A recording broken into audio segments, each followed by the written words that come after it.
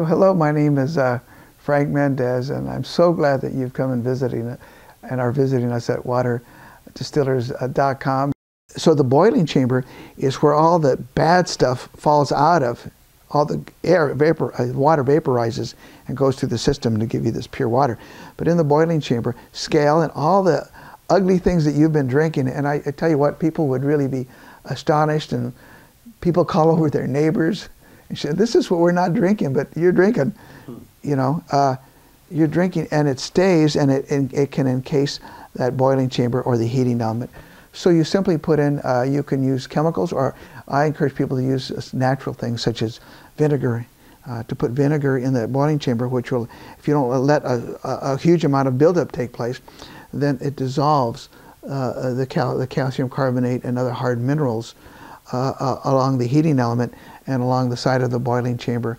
And you have a drain valve, so it drains it. You just open the valve and you drain it on out. I tell people, so, so we have to do it every time we see it? No. Uh, when you see a certain amount building up on your heating element, then do it. Uh, then do it. Uh, and again, you can do it through natural cleaners like vinegar, or, or you can use other chemicals which will work quicker on that uh, to remove it to remove it quicker. So it's basically just making sure that your boiling chamber is clean. Look into it after about three weeks. See what's in there. Make sure the machine's off. See what the buildup is and then clean it. Make a note of it, and then you'll, and then uh, do it again. And, inevitably, uh, like in mine, mine needs to be basically uh, cleaned once every uh, about six months. You can quickly determine how often you need need to do that. So you just need a cleaner. You boil it, you flush it on out, and it's clean again. Well, I'll, de I'll determine where they're at, and I'll determine the most cost-effective way for them to do it. And what does that mean? That means I'll either have them ship it to us directly, because we fix and we, uh, we can fix any, any distiller that's on out there, or ship it to the factory uh, directly, which they, they will handle it uh, wherever they're at.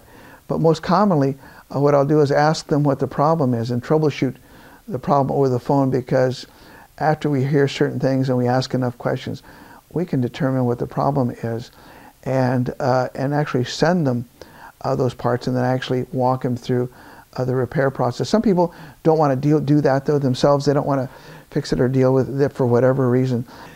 Let me share this with you, and, and I'll share it with you with, with a smile.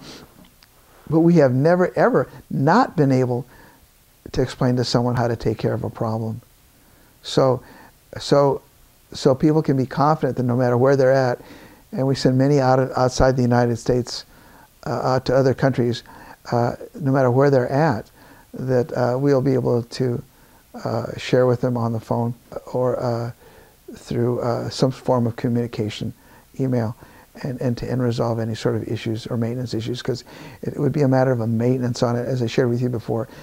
So thanks again for being here and hopefully uh, as we discuss we have different questions or as you email uh, me or correspond to me and our company that we build a rapport and, and come up with information that's valuable to you personally, uh, as well as others who you, uh, who you know, and you can share that information with.